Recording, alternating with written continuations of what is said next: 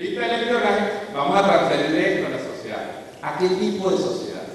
¿A qué modelo de sociedad? Así es, continuamos transmitiendo a esta hora, amigos de Venezuela Televisión, en la sala José Félix Ríos del Teatro Teresa Carreño, este foro internacional conjura mediática contra Venezuela. A esta hora interviene William Castillo, quien es actual director de Conatel y quien además es reconocido por su trayectoria dentro de los medios de comunicación del Estado venezolano. Vamos a escuchar su intervención a esta hora. Y ahora vuelvo a Venezuela.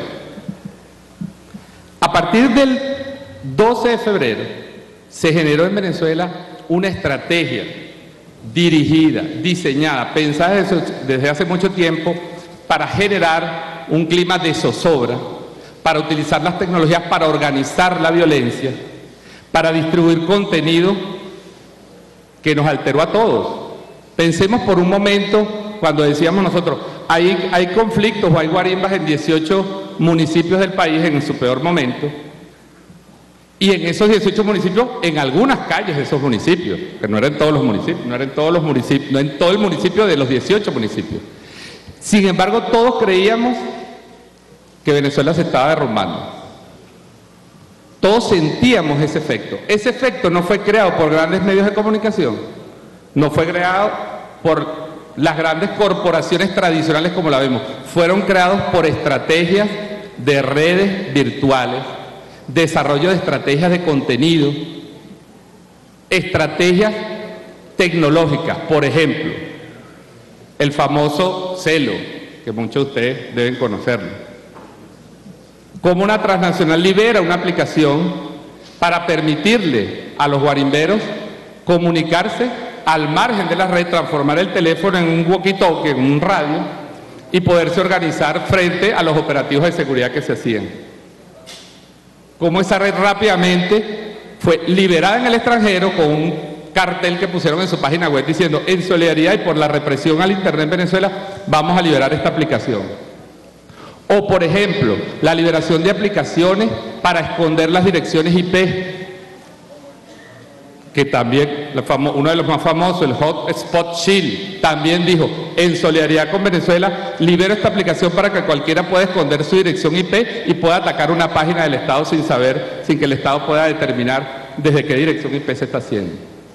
Entre los días 12 y 14, aquí se produjo un ataque masivo contra la plataforma informática de Venezuela. No lo vimos porque la guerra, ciberguerra, es en buena parte invisible. Sentimos sus efectos, pero no sabemos qué está pasando. O como decía Maquiavelo muchas veces, todos ven lo que parece, pero nadie sabe lo que es. Entonces, los ataques que llegaron a hacer, hubo páginas del sector público en Venezuela que recibieron hasta 10 millones de ataques en una hora.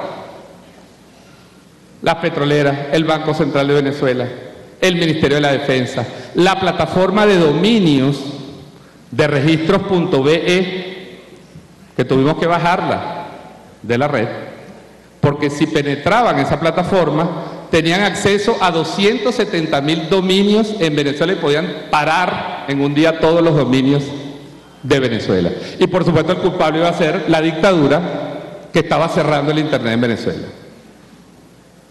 Produjeron una falla específica para Venezuela en el funcionamiento de la red social Twitter para que la gente no pudiera ver las imágenes durante unas horas. Y acusaron al Estado de haber bloqueado las imágenes porque, claro, el Estado no quería que se supiera que el país estaba alzado. Y como el uso intensivo de este, de este instrumento se ha popularizado tanto en Venezuela, por eso digo, estos datos los doy a modo de reflexión.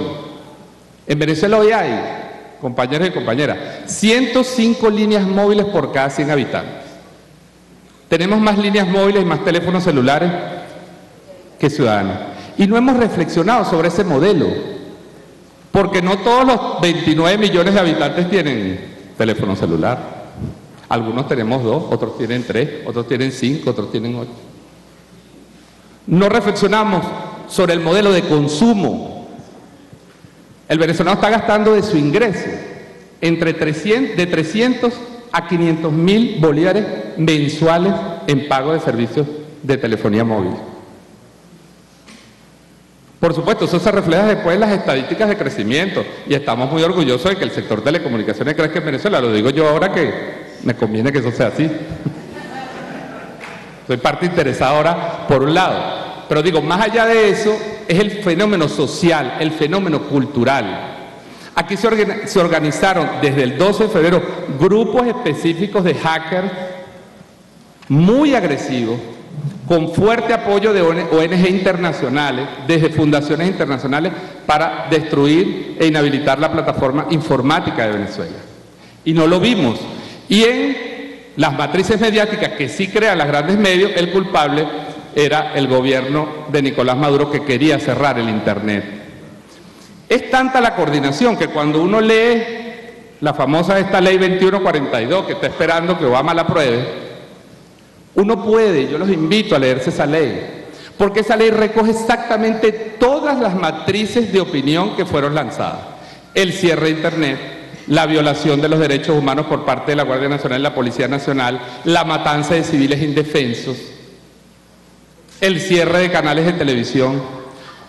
El presidente Nicolás Maduro tomó la decisión soberana el 12 de febrero en la tarde de sacar del sistema de televisión por suscripción a un canal internacional que en las seis horas entre las 12 del mediodía y las 6 de la tarde, hora en que salió del aire las cableras de Venezuela, me refiero al canal NTN 24, transmitió 85% de contenidos llamando a la violencia a la desestabilización en Venezuela.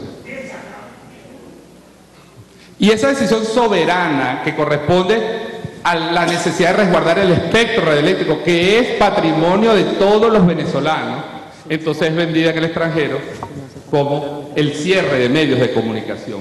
Y las empresas informáticas entonces le dieron les desbloquearon las... Bueno, así se desarrolla a esta hora este foro conjura mediática contra Venezuela en los espacios del Teatro Teresa Carreño.